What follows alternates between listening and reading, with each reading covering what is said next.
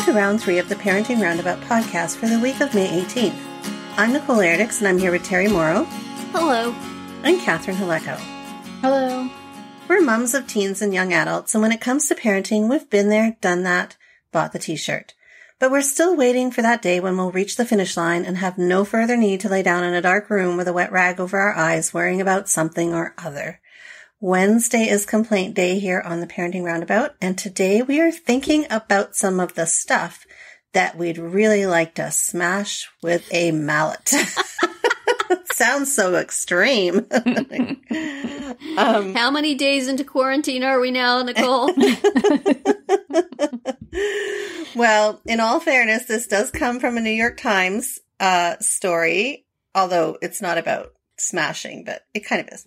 Um, but it's about how to make a pinata that looks like a coronavirus.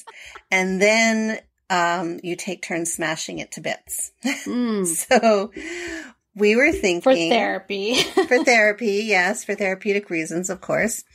Not that you need anger management. Um, maybe you do. it's been a long time Yeah. at home. Um, but we were thinking, what else is due for the pinata treatment? I love that question. Oh dear. Uh huh. And, and we Think- we were specifying that no uh, human heads or No. representations Inanimate of people. objects only. Yes.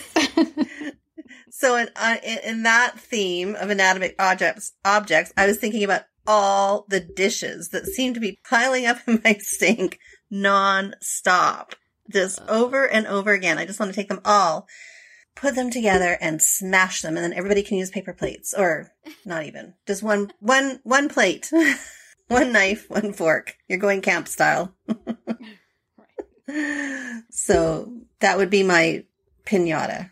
It'd be full I feel like. I want to smash like a giant calendar or you know representation of the fact that you cannot plan Yes. anything. anything. And I think that is what is like just the worst for me about all this. It just the un the constant uncertainty of yeah. it's just stretching out for months and Mhm. it is so disturbing. and I need to be able to, you know, work out my feelings about that. Well, and you have a very busy calendar, or you have had a very busy calendar. You're like, you're constantly on the go. So I could totally see that. I mean, I've had saved this email in my inbox for months because this show that my son really wanted to see was coming to Chicago. Mhm. And I hadn't bought tickets yet because I was starting to coordinate with a friend of his, the mother of a friend, so that I could take both of them. And then this happened. And now I'm just like, do I buy tickets? And then they'll give me my money back or they'll change it or Are they you know, still even just- selling them? the last time I checked, they were because it was to go from like July to October. hmm But yeah, I just i'm like paralyzed with inability to Oh yeah. know what to do in that situation. It's very hard. Is it's like I wouldn't expect that it was going to happen, but then if it did happen and you didn't get the tickets Right. and your kid is going, I thought we were going to go do this. I thought we were going to see it. Mhm. I mean, I probably should just buy them and assume that I can get my money back or whatever. But it's just the whole and but when do I buy them for? Like Yes. what will there be school? Will there be summer activities? Will there be, you know, a musical in the fall and we have to plan around the rehearsals? like yeah. I don't know. Oh man, the uncertainty is just so hard. I'm So- you know. I need a pinata that represents that. Uh, just a gigantic question mark. Yeah. What about you, Terri? like to what smash? would I you like definitely- smash. Wish I had something that I could smash because I often have a feeling that that would be that would be enjoyable and stress relieving. I often hit things when I'm stressed and upset, and generally they are a hard item that hurts my hand. You know, so I smash a part of my body instead of an item. So a pinata sounds pretty good right now. That'd or, be fun. consider pillows in the future. I do do pillows sometimes, just not as satisfying. yeah. You're the thwack of your hand against the wall. Boom! Before the pain sets in, it's very satisfying. Um, but I, you know, like I've said, my my life has not changed that much, but it's just it's so frustrating to me that you know, my husband and particularly my son are out of work. And, you know, I've talked here quite a lot about the difficulty of finding work for my son. And he finally was, I mean, he had three jobs and he, he was valued in all of them. And though it wasn't a perfect situation, it was at least a step forward and it was something for him to get up and do. And I cannot envision any of those coming back, maybe at all, or if they do not soon. Yeah. You know, uh, there's a hotel. Uh, how long is it going to take for a hotel to get up to the amount of business where they can afford him? You know, there's a the the football stadium.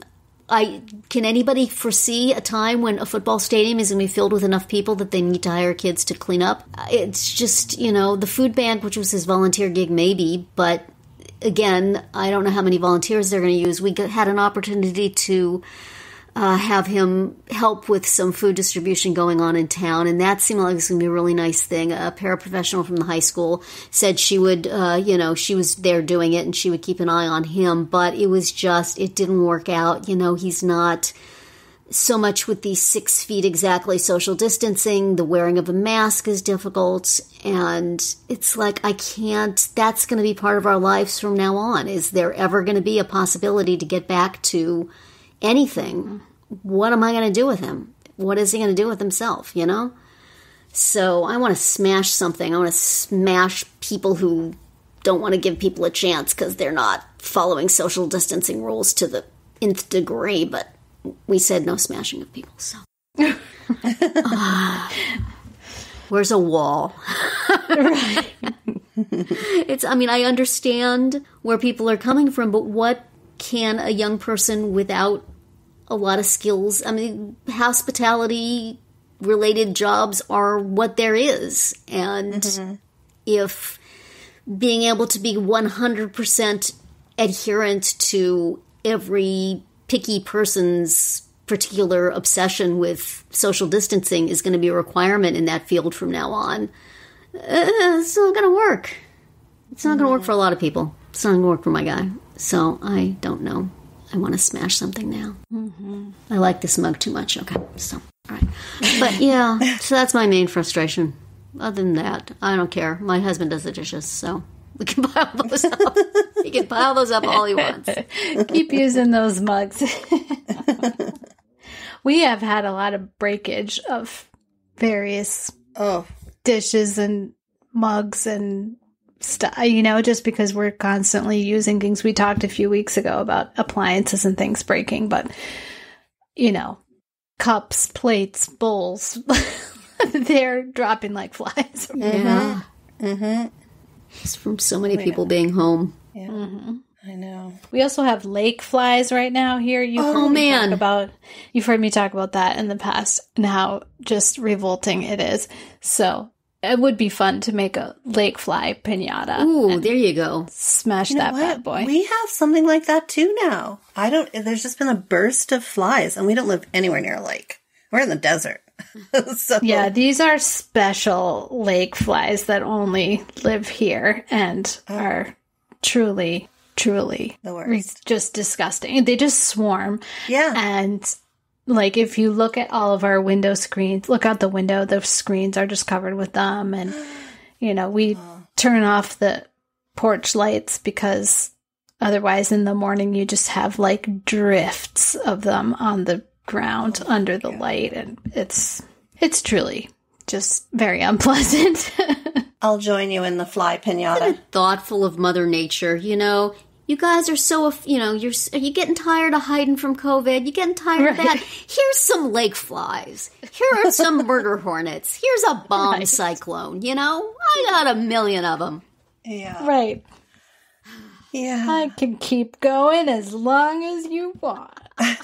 Be careful what you ask for people. Mm-hmm. now you don't want to go outside so much do you? Right.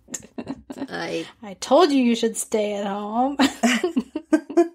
they need to make like a. I mean, in addition to the pinata shaped like COVID nineteen, they should have like a stress ball that you could squeeze Yeah. with anger or like the equivalent of of um, Toby's ball that he throws against the wall on the West Wing. You know, just like a tennis ball with in that shape that you could just throw at things. yes. That would be very that would be very satisfying. I like it. Who's made mm-hmm. that? I Somebody think must we have made all agree that there needs to be some kind of outlet. Yes. Yes. We, there needs Yes. to be like some sort of way that we can help, you know, be healthy about our anger. so that we don't get to the point of smashing heads. exactly. Or TVs or computer screens, as may be the case. Mm-hmm. right. Well, we hope you're not s- smashing whatever it is you're listening to our podcasts on, listeners. Uh, we hope that we're a little bit there. We'll take the stress off of you and express it ourselves. And that'll make us all feel better for five minutes, and then there will be another new outrage. Before that happens, that's it for today's round three. Tune in tomorrow and we'll talk about returning to school and college, and then come back on Friday to see what we've come up with for our Roundabout Roundup picks this week. Find all our episodes at parentingroundabout.com and talk back in the comments there on our Facebook page or on Twitter, where you'll find us at Roundabout Chat.